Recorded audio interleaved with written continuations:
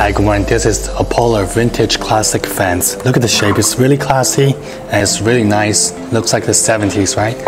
And it's a really nice one. So you just turn it on on one side and um, it's for emergency use. If you're like have power shortage in your house or um, if there's an earthquake or even going camping, it's easier, best body to carry out on a trip or anywhere you want to go.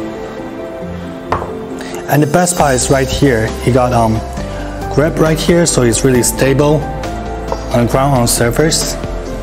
And um, at the back, so we got a micro USB at the back, and there's a um, charging place at the back right here with lithium battery, and there's a mode one and second mode. Also right here, Oh, we only put one battery inside. So it runs on one battery as well, and also it can run on two.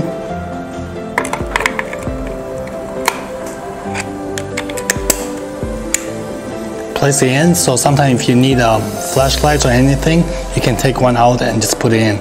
So if you see the dust inside right here, all you need to do is put it right here and just push it up. On the other side, push it down. Just take a tissue just wipe it around it.